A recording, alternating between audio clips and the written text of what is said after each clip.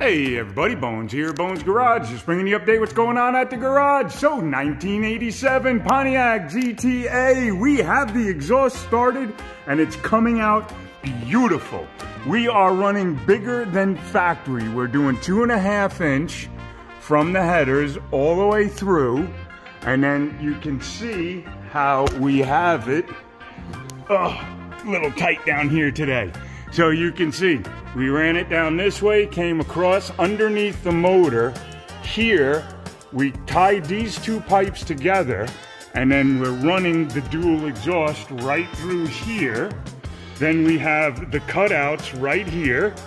Then we're going to, well, one cutout's here, one cutout's here. So you can see how that runs. Then we're gonna run these two pipes together like this, and then from there, we're gonna come in with a three inch pipe.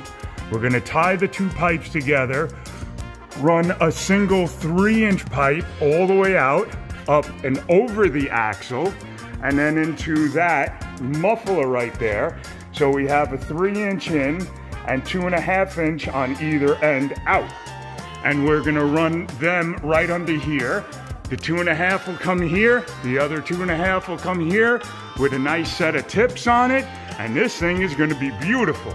I am so looking forward to it. It is such a big job trying to run a full two and a half inch dual exhaust under this car. There is no room on this side of the car to run anything. There is no room whatsoever to run anything on this side. And even on this side, you can see how close we have to be just to fit these two pipes in here. It is just so tight under here. But uh, yeah, a little creative engineering and we're making it happen.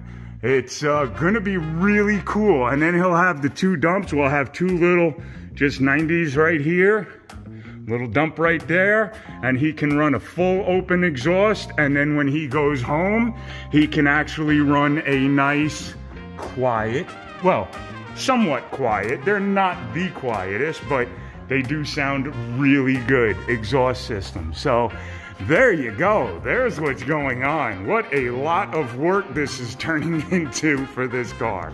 But uh, yeah we'll get her all done. Alrighty guys. Have fun. Talk to you soon Okay, bye.